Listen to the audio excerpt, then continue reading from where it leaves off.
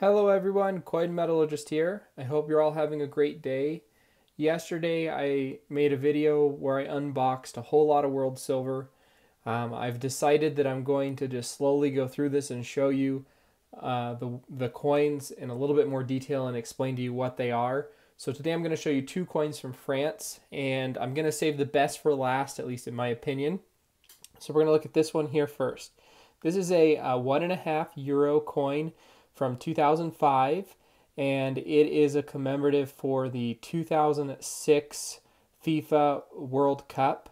And so it says, uh, you know, Cup of the World of La FIFA, so FIFA World Cup. Um, and I think this might be the city Allemagne where they were going to have it. They were going to have it in Germany.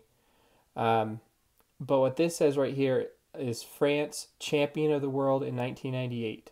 So I guess the last time uh, prior to 2006 that France had won the world, the FIFA World Cup was 1998. So they're kind of celebrating that, and it has a, a smooth edge.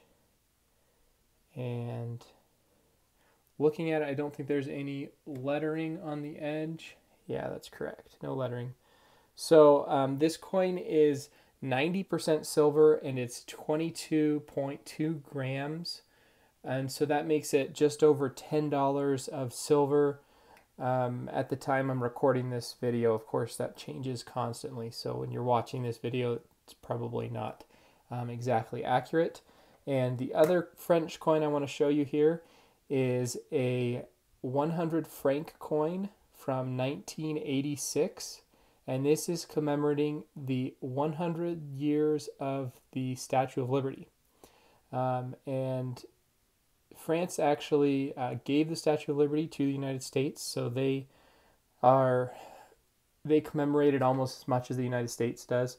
This capsule's cracked, and we have some uh, purple toning right here on the edge where it's um, cracked. I'm planning on probably taking these coins out of the capsules anyway, so I can put them in two by two mylar flips. Um, that way they fit better into my collection. I just I don't know how to store coins in capsules well.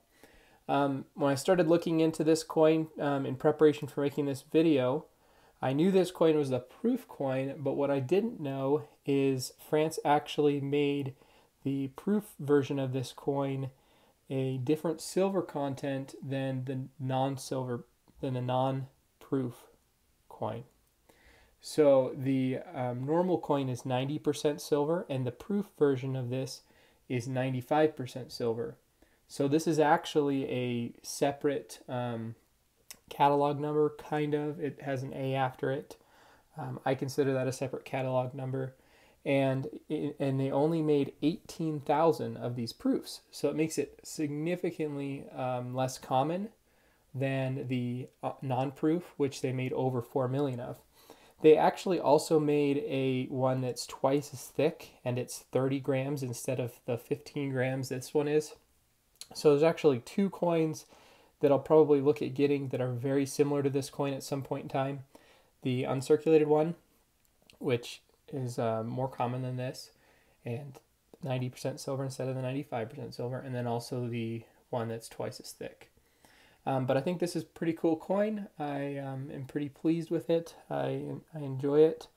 Um, I, I'm happy to get some European silver coins, even though they're not uh, terribly old. Um, and this kind of goes along with the uh, Olympic coins that I'm going to start trying to get some of. Just they're really cheap, they're easy to get. I didn't pay a whole lot for these two coins. Like I said, um, some of these coins I didn't even pay what the silver was worth in them. Um, but thanks for watching. Hope you enjoyed taking a look at these two French silver coins. Please uh, like the video, comment below, and uh, subscribe to my channel if you haven't already. I appreciate your support of my channel, and I'll see you all next time.